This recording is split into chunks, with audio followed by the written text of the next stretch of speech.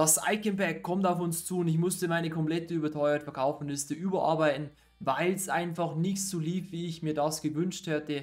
Deswegen habe ich nochmal komplett den Frühjahrsputz gemacht und ich werde dir auch hier im Video meine komplette Liste und Karten zeigen, die gut laufen, die du dir jetzt auch auf die Liste packen kannst, damit wir noch ein paar extra Coins machen. Servus, Grüße und Hallo, ich würde mich riesig freuen, wenn du dem Video kurz einen Daumen nach oben gibst und ja, wie schon gesagt, heute Abend oder spätestens morgen Abend soll ein Max 87 Icon Pack kommen. Viele haben mich vorher im Live gefragt, soll ich jetzt noch investieren? Freunde, wenn ihr auf YouTube oder wo auch immer hunderte Videos seht, jetzt diese Karten zu kaufen, weil dieses Icon Pack kommt, dann seid ihr eigentlich schon zu spät dran. Ihr könnt jetzt noch 84er mitnehmen bis 1,2k, kann man die locker mit dem Chemistry Style nehmen und schon mal überteuert verkaufen für 2,1 anbieten, stündlich anbieten, jede Karte einmal spielen, je spielbarer, desto besser.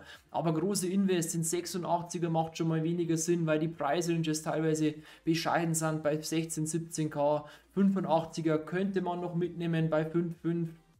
Aber die waren halt auch schon mal bei 4k zu haben. Oder wenn du jetzt sagst, die spielbaren 85er nimmst du mit, ja, für deine UV-Liste, das ist noch in Ordnung. Alles andere würde ich mir jetzt mal anschauen, wie die Ansprüche, Ansprüche sein werden. Letztes Jahr haben wir ja auch das Pack bekommen für ein 86er Rating und für ein äh, 84er Rating. Mal schauen, was ihr dieses Jahr haben möchte. Ihr könnt es auch nochmal versuchen, Low-Rated Inform-Karten mitzunehmen mit bisschen Rating 84. Aber das war's schon. Also am besten immer, wenn ihr investieren wollt, macht es frühzeitig und nicht jetzt noch. Also viele merken noch nicht mehr, scheiße, jetzt ist alles gut gestiegen und ich habe vergessen zu investieren und wollen dann alle nochmal schnell rein. Aber das hier ist nicht meine Devise. Gute Coins sind die sicheren Coins. Wenn ihr schon gut investiert habt und Anstiege da sind, nehmt die sicheren Coins. Ja, spekuliert nicht, dass die Karte extinct geht oder was auch immer. Wenn ihr gute Gewinne habt, nehmt die Coins mit. Genauso bei den RTTG-Karten. Pokert nicht. Ich mag es nicht, diesen Gamble-Content, immer das Maximale, den bestmöglichen Einkaufspreis,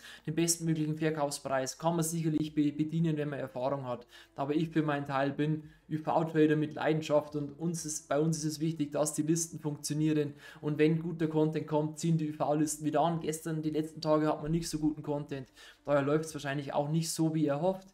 Ihr seht jetzt hier seit gestern, ich hatte gestern im Video, glaube ich, so 7, 8 Verkäufe, sind noch ein paar dazugekommen, ja, die Karten, auch äh, so Nunez, Korea, ja, habe ich ein paar wieder nachgekauft und ich lösche die Verkäufe jetzt erstmal und dann bieten wir die Karten an, die wir gerade im Live gemeinsam nachgekauft haben. Grüße übrigens jeden Einzelnen, wenn du da bist, wenn du vorher im Live dabei warst und jetzt auch dieses Video anschaust, freut mich sehr. Und so mache ich jetzt das nach Preisgestaltung, mache ich jetzt nach Bauchgefühl. Wer äh, Fragen hat zur richtigen Preisgestaltung, hier ist nochmal die Übersicht für jeden Anfänger. Haltet euch daran, es wird euch sehr, sehr helfen.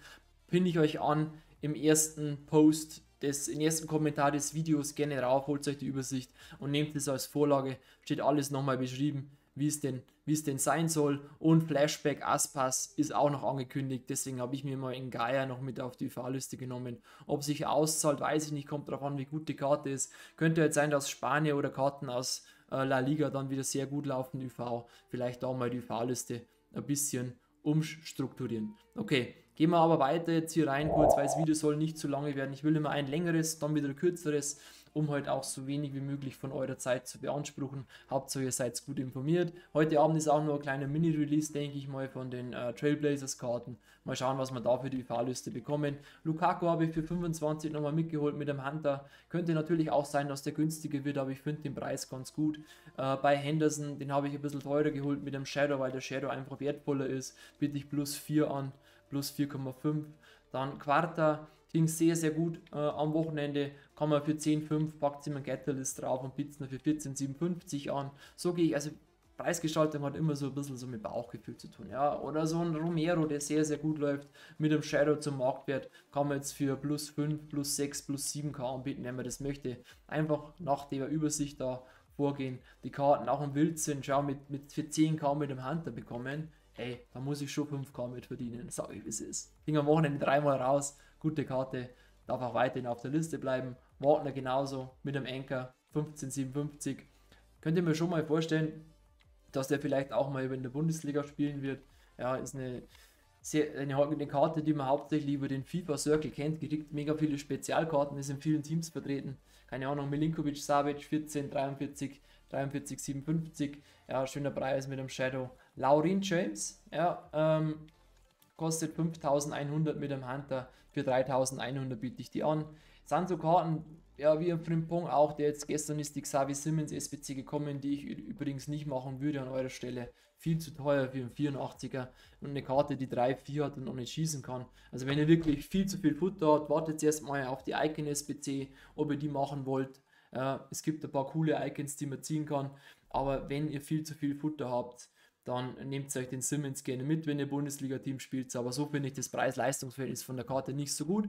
Ja, wir können jetzt nochmal gucken, wie mh, hm, die äh, Icons aussehen, die man ziehen kann, denn das Spiel hat sich wieder mal aufgehangen. Ich muss kurz wieder beenden und neu starten. Wie immer, das Menü von EA wirklich Katastrophe. Schreibt mal bitte eure Meinung, es würde mich interessieren, das nehme ich dann auch morgen mit ins Video mit rein. Ähm, was denkt ihr über das Menü? Ja, bitte mal, bitte natürlich sportlich fair bleiben in der Formulierung, aber schreibt es mir gerne mal in die Kommentare, was ihr über das Menü denkt, in Form, wenn man Trading macht, wenn man, ein, wenn man die Karten regelmäßig einkauft, egal ob Companion-App oder Web-App oder Konsole, das ist halt schon mega, mega mega, mega, mega unzufrieden. Un es ist ja nicht zufriedenstellend, sage ich jetzt mal. Ich wollte jetzt eigentlich ein anderes Wort sagen, aber ich will hier auch sportlich fair bleiben in der Anmoderation, damit ihr auch bleibt. Äh, es lädt jetzt gerade nebenbei hoch. Das sind die Icons, die man ziehen kann, aber schreibt mir gerne mal eure Meinung zu dem Menü rein, würde mich interessieren. Wer nicht so viel schreiben will, einfach Hashtag 14 OGs Abfahrt. Okay, dann haben wir Michael Essien, Claude Makalele, Zambrota, Rijkaard, Zola, Petit, Ballack, Barnes, Vidic, Torres. Ja, sind jetzt keine Karten, wo man sagt, juhu, die will ich unbedingt spielen. Aber wenn man es halt dann zieht für ein, für ein Icon Pack, das 100k kostet, dann wäre das meiner Meinung nach in Ordnung. Wir werden es definitiv zusammen auf meinen Content machen, vielleicht sogar auf meinen Account machen, wegen dem Content, vielleicht sogar auf beiden Accounts, ja, mal gucken, weil äh, ist guter Content. Morgen 17 Uhr bin ich wieder live, wer da Bock hat, schaut gerne rein. Morgen kommt dann auch noch für YouTube die Topseller. Peter Crouch und äh, Cahill möchte ich mal testen. Würde ich jetzt noch keine Empfehlung rausgeben. Ihr wisst, ich empfehle immer nur Karten, die ich selber gut verkaufen kann. Oder wir, MMTV und ich empfehlen immer nur Karten, die bei uns gut laufen. Kim Pempe habe ich gesehen, ist bei 9, äh, 6800. Biete ich jetzt mal für 9500 an mit dem Shadow. Dann äh, O7 auch ein 88er mit einer guten Preisrange kann man auf jeden Fall mal für 32 noch mitnehmen. Sollte ein bisschen günstiger werden. Haben wir immer noch den Zahlendreher zu 23.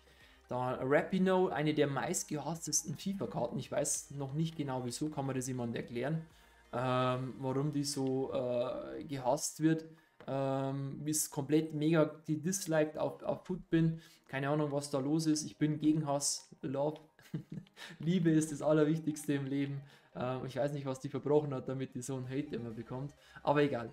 Gut, wir gehen weiter mit Grealish, dann auch noch ein Rafinha, vielleicht bekommt es mit dem Hunter, könnt ihr für 8600 mit dem Hawk anbieten oder für 9600 mit dem Hunter. Ähm, ging auch raus, hier bei den Karten, bei den 85ern, die biete ich pauschal für 7400 an, weil es der Zahlendreher ist zu 4700. Sterling kann jetzt wieder mit, der kostet äh, 2100, kann man einen Zahlendreher machen, äh, 1200 kostet er, sorry, 2100 Zahlendreher drauf. Ähm, dann Ramsdale, ja, habe ich jetzt zwei drauf, ein plus 1K und den nächsten kann man plus äh, Zahlendreh zu 1400 machen. Genauso wie ein Upamecano, der kostet auch nicht mehr viel. Da kann man jetzt dann meinetwegen schauen, jetzt mein Einkaufspreis, der ist alles andere als optimal. Aber so ist es und so solltet ihr auch wirklich vorgehen, die Preise konsequent zum Marktwert anpassen, wenn es nicht so gut läuft. Ja, auch wenn man mal Minus macht bei überteuert verkaufen. Jeder, der Trading-Content macht und sagt, er hat noch nie Minus gemacht, spricht nicht die Wahrheit. Soweit lege ich mich aus dem Fenster. Trading, Try and Error, Sachen probieren, austesten, ja mal Karten kaufen und wenn die Karten nicht gut gehen, nicht den Kopf in den Sand stecken, weiter anpassen und es wird wieder funktionieren. Man darf sich hier nur nicht äh, aus der Ruhe bringen lassen, sage ich mal. Weiter positiv bleiben, die Karten dann ähm, für äh, so anpassen, dass man die Wahrscheinlichkeiten halt wieder ja, wieder höher schraubt und dass sich die Karten dann auch, dass sie, ey, was ist denn mit dem Menü?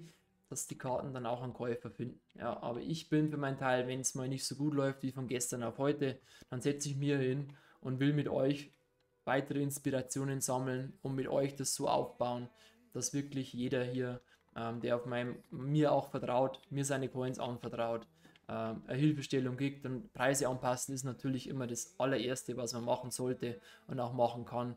wenn es nicht so gut läuft. Und daher muss ich jetzt noch den Emiliano Martinez listen.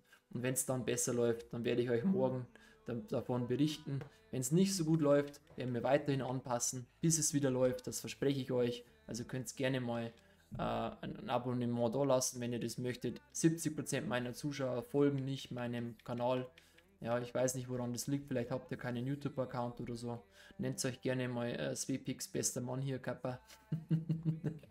und kommentiert dann und sagt mir, dass ihr extra wegen mir den Account angelegt habt. Das hat letztens einer äh, auf der Plattform gemacht, wo ich immer live gehe. Hat mich sehr gefreut. Ist ja auch ein Kompliment, aber ich will nicht der beste Mann sein. Ich will nur eine vertrauenswürdige Anlaufstelle sein, wenn es ums Coins vermehren geht und euch dann hoffentlich dann irgendwann auch mal mit dem anderen Content, der daraus entsteht, gut unterhalten kann, um einfach so einen kleinen Unterschied zu den Sorgen des Alltags, die uns alle prägen. Okay, das ist jetzt meine angepasste Liste. Götze, Mertens, RTTK-Karten, die ihr gekauft habt, wenn ihr die Liste mit mir gebaut habt, die gut angestiegen seid, könnt ihr auch überlegen, gut angestiegen sind, könnt ihr auch überlegen, ob ihr nicht rausgehen möchtet. Ich gehe jetzt hier mal im Schnelldurchlauf durch die Liste durch, ihr könnt euch das Video jederzeit langsamer anschauen, ja, ähm, halbe Geschwindigkeit oder so. Oder ihr könnt das Video nochmal anschauen, wenn es euch zu schnell ist. Die Preise sind alle angepasst, Liste ist komplett angepasst. Auf dem Discord werde ich es auch nochmal komplett posten, wie immer. Wenn nicht wer da am Start ist, ihr kommt da rein mit der YouTube-Kanalmitgliedschaft oder halt da, wo ich immer live bin, wenn ihr da ähm, Sub seid, klappt es auch. Oder mit Kanalpunkten gratis. Ja, so, das war's. Hier haben wir noch einen Frimpong, den muss ich noch listen. Jetzt ist das Menü schon wieder so schlecht. haben wir 5-3, fertig. Dann bin ich fertig. Danke fürs Anschauen. Video noch liken, wer es nicht gemacht hat. Peace out.